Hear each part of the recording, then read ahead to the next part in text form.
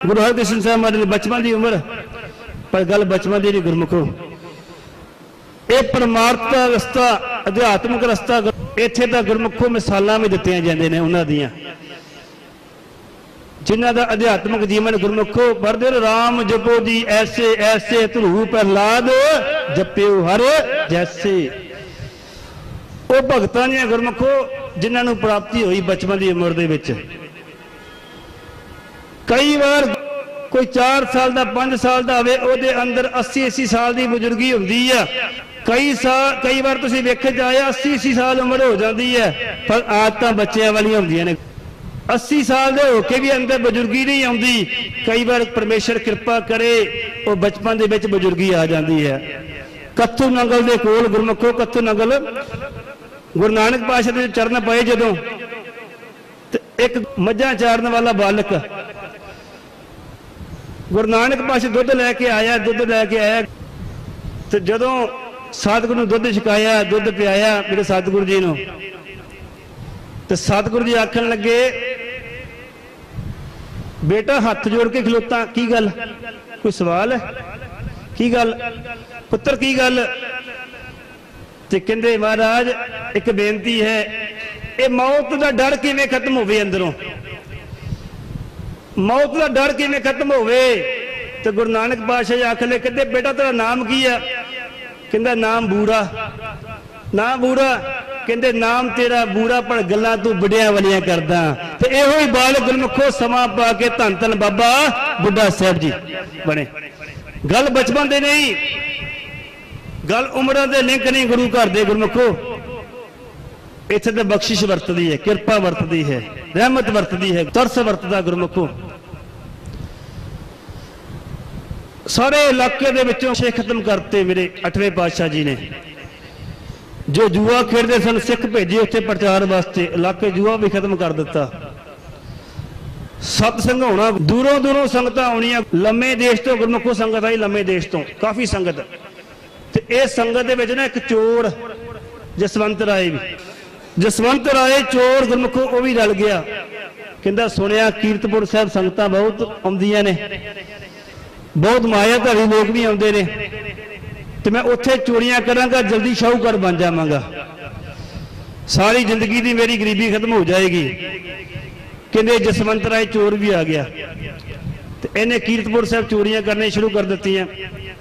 ਹੁਣ ਸੰਗਤ ਨੇ ਗੱਲਾਂ ਕਰਦੀਆਂ। ਗੰਡਾਂ 'ਚ ਪੈਸੇ ਕੌਣ ਕਰਦਾ? ਜੇਬਾਂ ਕੌਣ ਕਤਰਦਾ ਹੈ? ਹੁਣ ਗੱਲ ਪਹੁੰਚ ਗਈ 8ਵੇਂ ਪਾਤਸ਼ਾਹ ਤੱਕ। ਤਾਂ ਗੁਰਮੁਖੋ ਸੰਗਤ ਬੈਠੀ ਐ ਸਵੇਂ 8ਵੇਂ ਪਾਤਸ਼ਾਹ ਬੈਠੇ ਗੁਰਮੁਖੋ ਤੇ ਇਹ ਜਸਵੰਤ ਦਾ ਸੰਗਤਾਂ ਨਮਸਕਾਰ ਕਰਦੀਆਂ ਪਈਆਂ ਜਸਵੰਤ ਰਾਏ ਨੇ ਵੀ ਆ ਕੇ ਹੈ ਚੋਰ ਸੀ ਗੁਰਮੁਖੋ ਆ ਕੇ ਨਮਸਕਾਰ ਕੀਤੀ ਵੇਖੋ ਬਾਲਾ ਪ੍ਰੀਤਮ ਜੀ ਆ ਕੇ ਨਮਸਕਾਰ ਕੀਤੀ ਬਾਲਾ ਪ੍ਰੀਤਮ ਦੇ ਚਰਨਾਂ ਦੇ ਵਿੱਚ ਨਮਸਕਾਰ ਕੀਤੀ ਤੇ ਮੇਰੇ ਸਤਿਗੁਰ ਨੇ ਨਾ ਉਹ ਸ਼ਰੀ ਫੜਦੇ ਸਨ ਅਠਵੇਂ ਪਾਤਸ਼ਾਹ 'ਚ। ਨਿੱਕੀ ਜੀ ਸ਼ਰੀ ਫੜਿਆ ਕਰਦੇ ਸਨ ਉਹ ਸ਼ਰੀ ਫੜੀ ਹੋਈ ਤੇ ਮੁਖ ਤੋਂ ਆਖਦੇ ਨੇ ਕਹਿੰਦੇ, ਜਸਵੰਤ ਰਾਏ, ਇਹ ਪੰਕਤੀਆਂ ਸੁਣੀਆਂ ਤੂੰ ਕਦੀ? ਕਹਿੰਦਾ, ਮਾਰੇ ਕਿਹੜੀਆਂ? ਕਹਿੰਦੇ, ਚੋੜ ਕੀ ਹਾਮਾ ਭੜੇ ਨਾ ਕੋਈ? ਚੋੜ ਕੀ ਆ, ਚੰਗਾ ਕਿ ਹੋਵੇ ਕਹਿੰਦੇ, ਜਸਵੰਤ ਰਾਏ, ਇੱਕ ਗੱਲ ਦੱਸ। ਜਦੋਂ ਜੰਗਲ ਵਿੱਚ ਅੱਗ ਲੱਗੇ, ਲੋਕ ਨਦੀ ਵੱਲ ਭਜਦੇ ਨੇ। ਨਦੀ 'ਚ ਪਾਣੀ ਵੱਲ ਭਜਦੇ ਨੇ। ਪਰ ਜਦੋਂ ਪਾਣੀ ਨੂੰ ਅੱਗ ਲੱਗ ਜਾਵੇ, ਲੋਕ ਕਿੱਥੇ ਜਾਣ? ਲੋਕ ਕਿੱਥੇ ਜਾਣ, ਲੋਕ?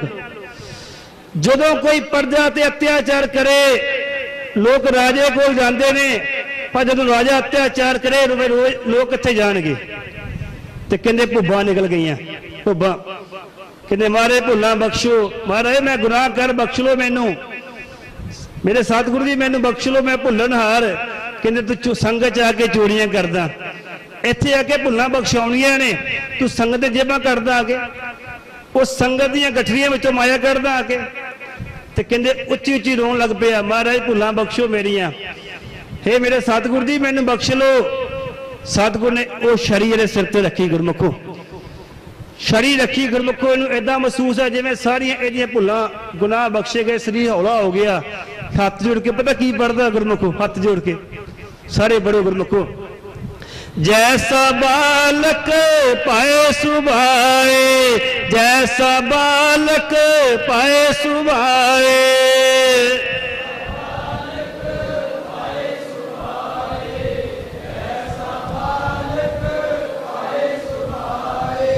जैसा बालक पाए सुभाए जैसा बालक पाए सुभाए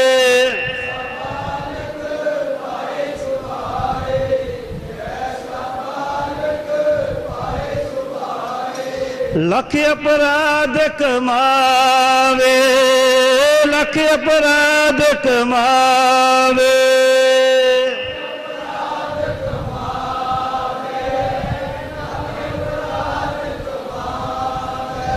ਕਰ ਉਪਦੇਸ਼ ਚਿਰਕੇ ਬਹੁ ਭਾਤੀ, ਕਰ ਉਪਦੇਸ਼ ਚਿਰਕੇ ਬਹੁ ਭਾਤੀ।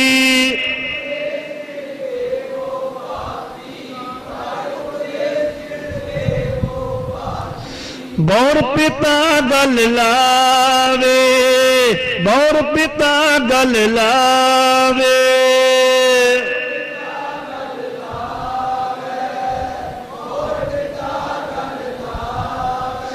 ਬੌਰ ਪਿਤਾ ਗਲ ਲਾਵੇ ਬੌਰ ਪਿਤਾ ਗਲ ਲਾਵੇ।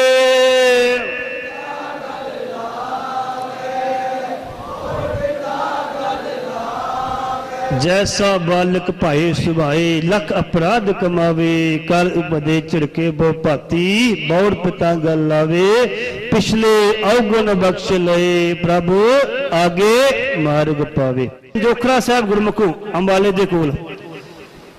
ਉੱਥੇ ਪਾਤਸ਼ਾਹ ਜਿਸ ਵੇਲੇ ਪਹੁੰਚੇ ਨਾ ਪਾਤਸ਼ਾਹ, ਬਾਲਾ ਪ੍ਰੀਤਮ ਜੀ, ਸੰਗਤਾਂ ਦਾ ਇਕੱਠ ਹੋਣਾ ਸ਼ੁਰੂ ਹੋ ਗਿਆ। ਤੇ ਕਹਿੰਦੇ, ਇੱਕ ਪੰਡਤ ਲਾਲ ਚੰਦ ਹੋਇਆ। ਉਹ ਕਿਸੇ ਨੂੰ ਪੁੱਛਦਾ ਸਿੱਖ ਨੂੰ, ਕਹਿੰਦੇ ਕੌਣ ਆ, ਬੜਾ ਇਕੱਠ ਹੈ? ਕਹਿੰਦੇ ਗੁਰੂ ਨਾਨਕ ਦੀ 8ਵੀਂ ਜੋਤ। ਗੁਰੂ ਨਾਨਕ ਦੀ 8ਵੀਂ ਜੋਤ। ਕਹਿੰਦੇ ਇਹਦਾ ਨਾਮ ਕੀ ਹੈ? ਕਹਿੰਦੇ ਇਹਦਾ ਨਾਮ ਹੈ ਧੰਨ ਧੰਨ ਸ੍ਰੀ ਗੁਰੂ ਹਰਕ੍ਰਿਸ਼ਨ ਸਾਹਿਬ ਮਹਾਰਾਜ ਜੀ। ਸਾਡੇ ਪਿਆਰ ਦੇ ਆਖੋ ਧੰਨ ਧੰਨ ਸ੍ਰੀ ਗੁਰੂ। ਫਿਰ ਆਖੋ ਧੰਨ ਧੰਨ ਸ੍ਰੀ ਗੁਰੂ।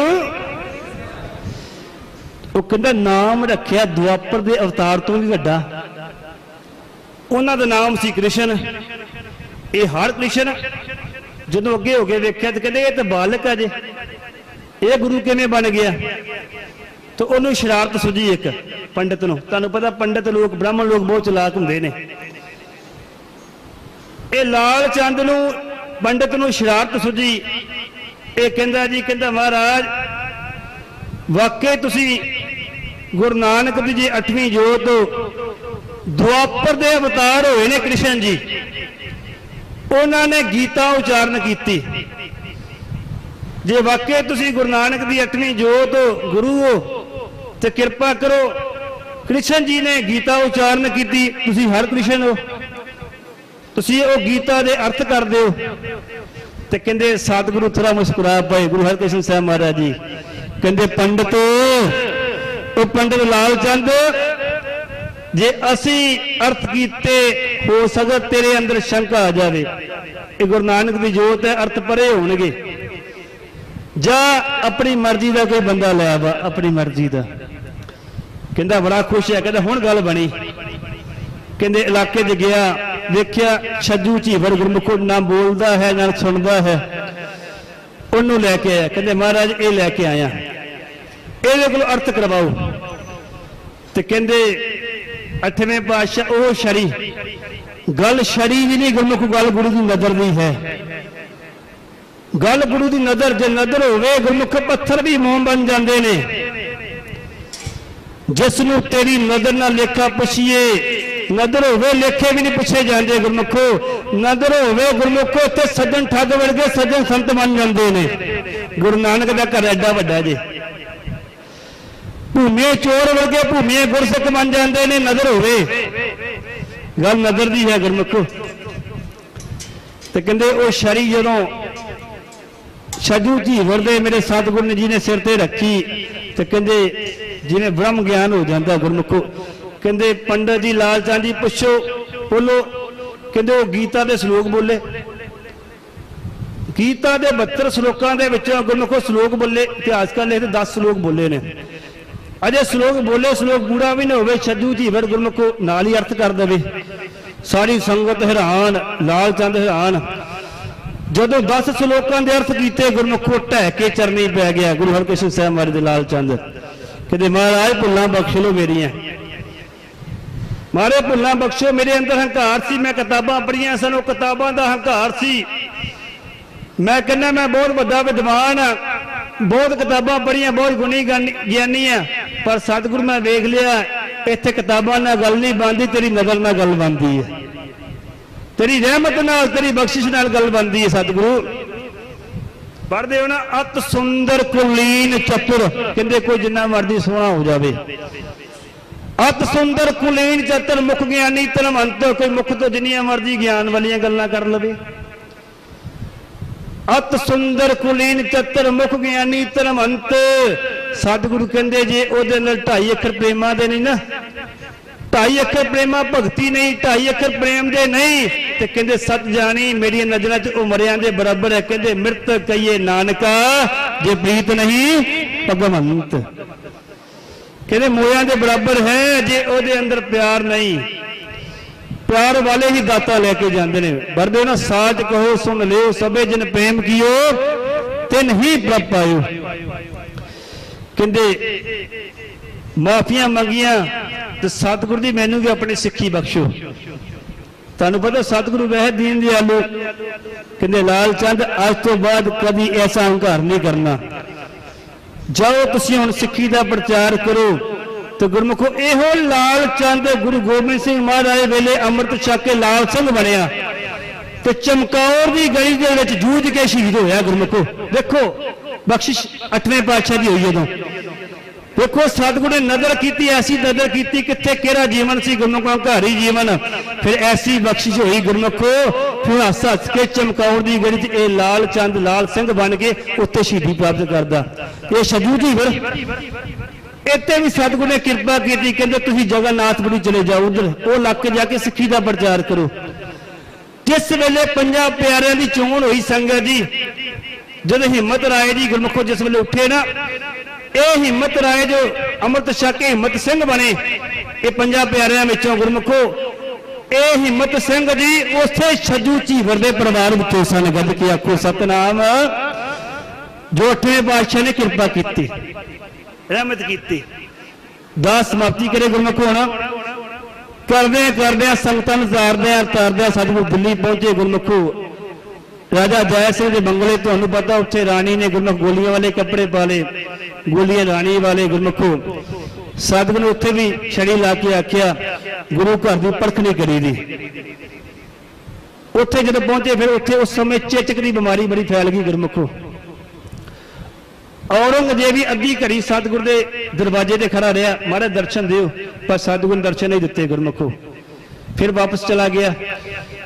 ਫਿਰ ਉੱਥੇ ਦੁਖੀਆਂ ਦੇ ਦਰਦ ਦੂਰ ਕਰਦਿਆਂ ਕਰਦਿਆਂ ਆਪ ਸਤਿਗੁਰੂ ਮਲਮ ਪੱਟੀ ਕਰਨੀ, ਦਵਾ दारू ਦੇਣੀ ਗੁਰਮੁਖੋ ਆਪ। ਉੱਥੇ ਆਪ ਦੁਖੀਆਂ ਦਾ ਭਲਾ ਕਰਨਾ ਗੁਰਮੁਖੋ। ਜਿਹਨੂੰ ਵੀ ਸਤਿਗੁਰੂ ਹੱਥ ਲਾਉਂਦੇ, ਉਹਦੇ ਅੰਦਰ ਠੰਡ ਪੈਂਦੀ ਸੀ ਗੁਰਮੁਖੋ। ਜਿੱਥੇ ਵੀ ਸਤਿਗੁਰੂ ਜਾਂਦੇ, ਜੋ ਦਰਸ਼ਨ ਕਰਦਾ, ਉਹਨੂੰ ਅੰਦਰ ਠੰਡ ਪੈਂਦੀ ਸੀ। ਕਿ ਨਾਮ ਹੀ ਐਸਾ ਗੁਰਮੁਖੋ। ਉਹਦੇ ਅੰਦਰ ਠੰਡ ਪੈਂਦੀ ਗੁਰਮੁਖੋ। ਅਨੇਕਾਂ ਹੀ ਰੋਗੀਆਂ ਦੇ ਰੋਗ ਦੂਰ ਕੀਤੇ, ਕਿਉਂ? ਸਤਿਗੁਰੂ ਕਹਿੰਦੇ ਨੇ, ਬਾਜਾਂ ਵਾਲੇ ਪ੍ਰੀਤਮ ਆਓ ਪੜ ਲਓ ਫਿਰ ਸਮਾਪਤੀ ਕਰੀਏ ਜੀ। ਸ੍ਰੀ ਹਰਿ ਕ੍ਰਿਸ਼ਨ ਤੇ ਆਈਏ, ਸ੍ਰੀ ਹਰਿ ਕ੍ਰਿਸ਼ਨ ਤੇ ਆਈਏ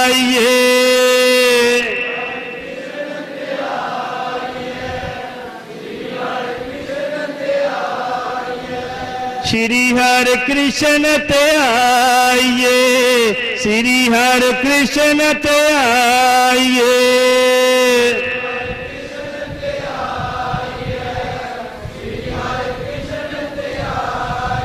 ਜਿਸ ਡਿਠੇ ਸਭ ਦੁੱਖ ਜਾਏ ਜਿਸ ਡਿਠੇ ਸਭ ਦੁੱਖ ਜਾਏ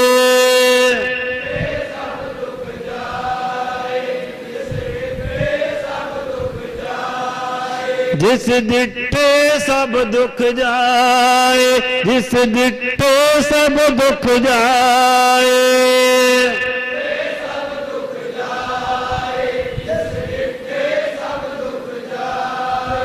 ਸ੍ਰੀ ਹਰਿ ਕ੍ਰਿਸ਼ਨ ਤੇ ਆਈਏ, ਸ੍ਰੀ ਹਰਿ ਕ੍ਰਿਸ਼ਨ ਤੇ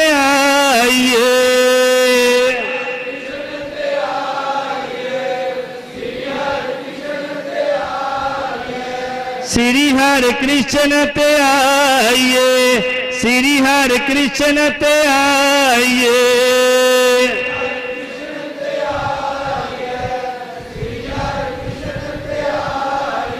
ਸ੍ਰੀ ਹਰਿ ਕ੍ਰਿਸ਼ਨ ਤੇ ਆਈਏ, ਜਿਸ ਡਿੱਠੇ ਸਭ ਦੁੱਖ ਜਾਏ। ਉੱਥੇ ਸਤਿਗੁਰੂ ਰੋਗੀਆਂ ਦੇ, ਦੁੱਖੀਆਂ ਦੇ ਰੋਗ ਰੋਗ ਦੂਰ ਕਰਦਿਆਂ ਆ ਦੁੱਖੀਆਂ ਦੇ ਦੁੱਖ ਦੂਰ ਕਰਦਿਆਂ ਆ ਸਤਿਗੁਰੂ ਇਤਿਹਾਸਕਾਰ ਲਿਖਦੇ ਨੇ, ਸਤਿਗੁਰੂ ਆਪ ਹੀ ਗੁਰਮੁਖ, ਉਹ ਚੇਚਕ। ਸਤਿਗੁਰੂ ਦੇ ਸਰੀਰ ਤੇ ਆਪ ਹੀ ਉਹ ਰੋਗ ਲੱਗ ਗਿਆ ਗੁਰਮੁਖੋ। ਸੰਸਾਰ ਦਾ ਕਸ਼ਟ ਕਹਿ ਲਓ, ਸਤਿਗੁਰੂ ਆਪਣੇ ਸਰੀਰ ਤੇ ਲਿਆ ਗੁਰਮੁਖੋ। ਫਿਰ ਸਤਿਗੁਰੂ ਨੇ ਆਪਣੇ ਮੁਖਾਰ ਬੰਦ ਤੋਂ ਆਖਿਆ। ਕੀ ਆਖਿਆ? ਕਹਿੰਦੇ, ਬਾਬਾ ਵਸੇ ਗ੍ਰਾਮ ਬਕਾਲੇ। ਬਾਬਾ ਵਸੇ ਗ੍ਰਾਮ ਬਕਾਲੇ ਆਪਣੀ ਸੰਗਤ ਆਪ ਸੰਭਾਲੇ। ਬਾਬੇ ਬਕਾਲੇ ਵੱਲ, ਗੁਰੂ ਤੇਗ ਬਹਾਦਰ ਜੀ ਵੱਲ ਇਸ਼ਾਰਾ ਕੀਤਾ। ਉਧਰ ਇਸ਼ਾਰਾ ਕੀਤਾ ਗੁਰਮੁਖੋ। ਤਾਂ ਅੱਜ ਸੰਗਤ ਜੀ ਅਰਦਾਸ ਕਰਿਓ, ਆਪਣੀ ਵੀ ਦਾਸ ਗੁਰੂ ਦੀ ਮਹਾਰਾਜ, ਕਿਰਪਾ ਕਰੋ, ਬਖਸ਼ਿਸ਼ ਕਰੋ। ਕਈ ਕਹਿੰਦੇ, ਸਾਨੂੰ ਕਿਹੜਾ ਦੁੱਖ ਲੱਗਾ? ਅਸੀਂ ਸਰੀਰ ਬਿਲਕੁਲ ਤੰਦਰੁਸਤ ਹੈ। ਕੇਵਲ ਸਰੀਰਕ ਰੋਗ ਨਹੀਂ, ਗੁਰਮੁਖ ਹੁੰਦੇ ਨੇ ਕੁਝ ਰੋਗ ਮਨ ਦੇ ਰੋਗ ਹੁੰਦੇ ਨੇ। ਈਰਖਾ ਇਹ ਵੀ ਇੱਕ ਰੋਗ ਹੈ। ਹੰਕਾਰ ਕਰਨਾ, ਇਹ ਵੀ ਰੋਗ ਹੈ। ਜ਼ਿਆਦਾ ਬੋਲਣਾ, ਇਹ ਵੀ ਰੋਗ ਹੈ। ਜ਼ਿਆਦਾ ਗੁੱਸਾ ਆ ਜਾਣਾ, ਇਹ ਵੀ ਰੋਗ ਹੈ, ਇਹ ਵੀ ਦੁੱਖ ਹੈ। ਇਹ ਵੀ ਰੋਗ ਜੇ ਗੁਰਮੁਖੋ, ਅੱਜ ਬਾਲਾ ਪ੍ਰੀਤਮ ਦੇ ਚਰਨਾਂ 'ਚ ਹੱਥ ਜੋੜ ਕੇ ਬੇਨਤੀ ਕਰੇ ਹੋਏ ਸਤਿਗੁਰੂ ਜੀ ਇਹ ਮੇਰੇ ਬਾਲਾ ਪ੍ਰੀਤਮ ਦੀ ਕਿਰਪਾ ਕਰੋ। ਤੁਸੀਂ ਮਿਹਰਬਾਨ ਹੋ ਸਤਿਗੁਰੂ ਜੀ, ਕਿਰਪਾ ਕਰ ਰੋਗੀ ਕਾ ਪ੍ਰਭ ਖੰਡੋ ਰੋਗ, ਦੁਖੀਏ ਕਾ ਮਿਟਾਵੋ ਪ੍ਰਭ ਸੋਗ। ਹੇ ਮਹਾਰਾਜ, ਸਾਡੇ ਤਨ ਮਨ ਦੇ ਰੋਗ ਦੂਰ ਕਰੋ ਅੱਜ। ਮਹਾਰਾਜ ਤੁਹਾਡੇ ਘਰ ਘਾਟਾ ਕੋਈ ਨਹੀਂ ਕਿਰਪਾ ਕਰੋ।